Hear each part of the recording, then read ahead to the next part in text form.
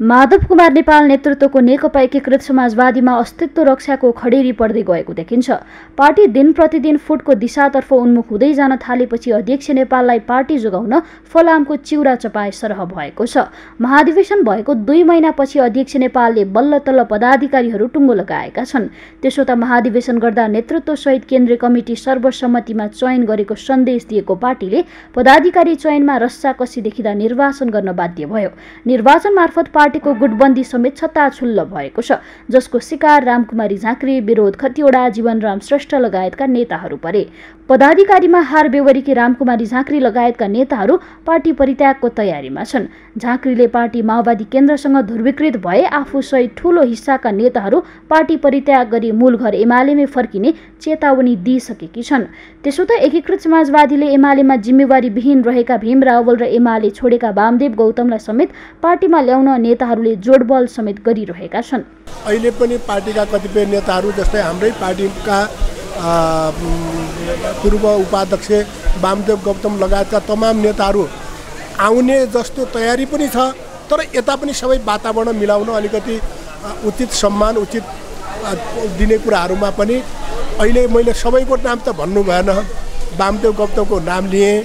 त्यसबाहेक तमाम नेता अरू पनि नेताहरू अब जो नेताहरूले काम जिम्मेवारी नपाएर एक खालको निष्क्रिय जीवन बिताउनु पर्ने अवस्थाका नेताहरू पनि हुनुहुन्छ र ती सबै नेताहरू समाजवादीमा आउने चरण पनि होला।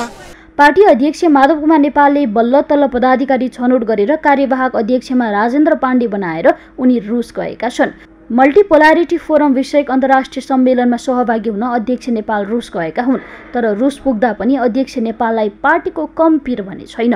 पार्टीका नेता कार्यकर्ताहरू एकीकृत समाजवादीको भविष्य नदेखेर पुरानै पार्टी एमालेमा फर्किएका छन्।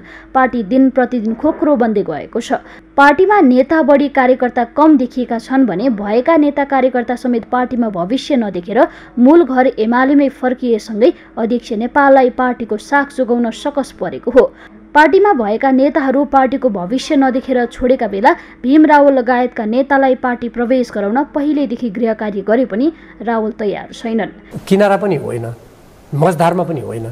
म यो पार्टीको सदस्य हुँ र मेरो नेकपा एमालेको सम्बन्धी मेरो बुझाइ मेरो धारणा मेरो पाँच दशक मैले यो पार्टीको अध्ययन बुझेको यसका अनेक मोर्चा अनेक ठाउँमा यो सङ्गठनको विस्तार निर्माण सुदृढीकरण यसलाई फुटबाट जोगाउने सातौँ र नौमा पनि पार्टी फुट्न थालेको थियो।